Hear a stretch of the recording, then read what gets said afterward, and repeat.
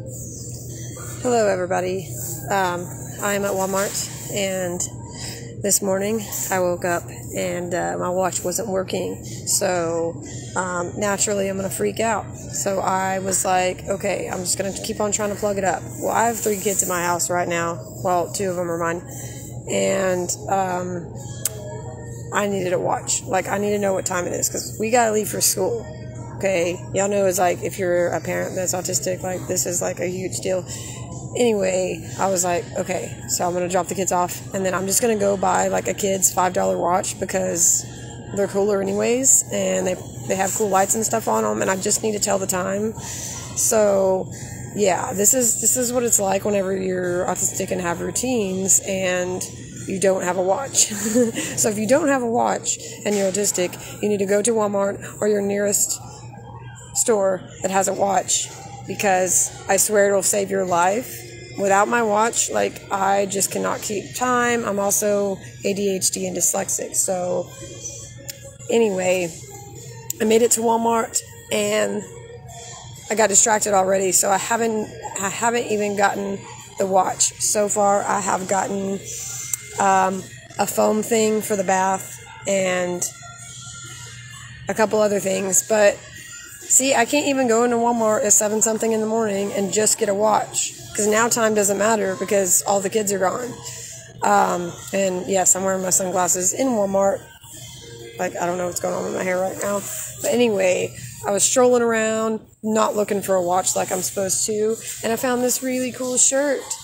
Okay, obviously I'm gonna be putting like a like a red mark over this blue, you know, thing right here um, even though I am super into puzzle pieces and I don't really care to get into controversy about all of that, I'm just not much into uh, the blue puzzle piece. So I'm gonna like mark it out or just color it red or whatever.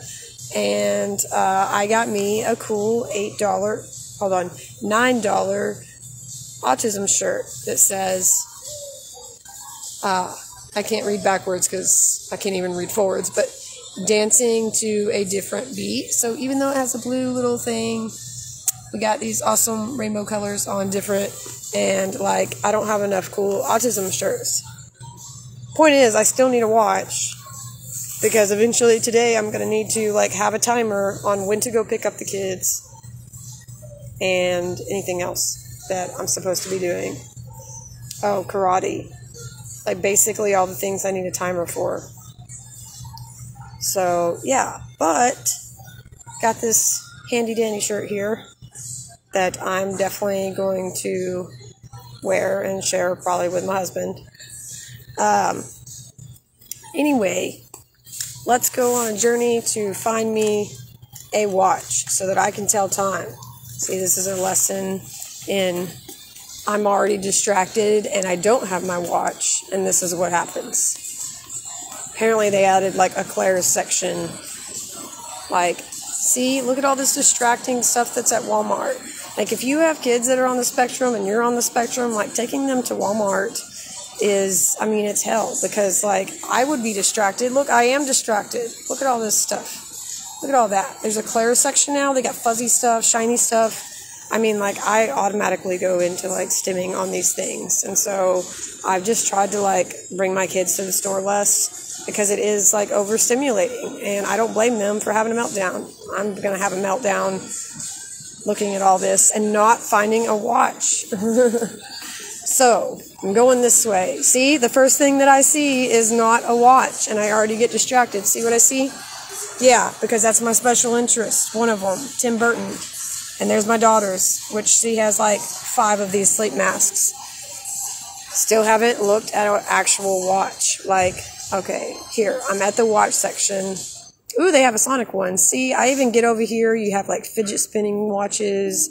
You have, there's so many kinds. And if your kid is old enough to actually use a watch, then, and, and, ha- and it has timers or it just like has it to where they can keep track of time, I would say the earliest you can teach that to them is better because I still suck at it and I'm still having to figure that out.